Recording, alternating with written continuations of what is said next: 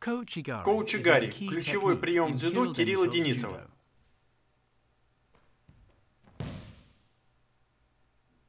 Пятикратный призер чемпионатов мира использует коучигари не только для того, чтобы получить результативную оценку, но и для дестабилизации соперника и подготовки основных бросков. В основном он использует его против соперников в правосторонней стойке. Помимо классического коучигари, у него есть еще два основных варианта. Двойное коучигари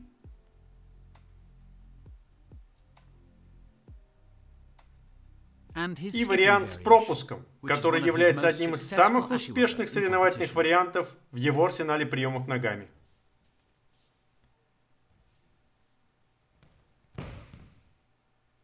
Эта техника основана на обмане.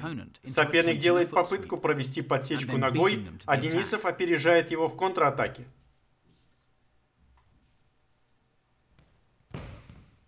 Денисов инициирует действие, поддаваясь, которое искушает соперника атаковать с помощью Дайши Барай, подсечка под выставленную ногу. Поэтому он должен быть очень быстрым в ногах, чтобы бросить первым с коуча Гарри. Сейчас впервые вы можете изучить оба этих уникальных варианта коуча Гарри. Узнайте все тонкости и нюансы этих приемов. Денисов научит вас, как добиться успеха в этой классической технике приемов ногами.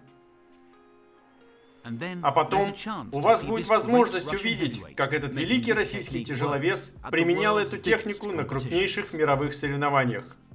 Все это на Суперстар Джудо.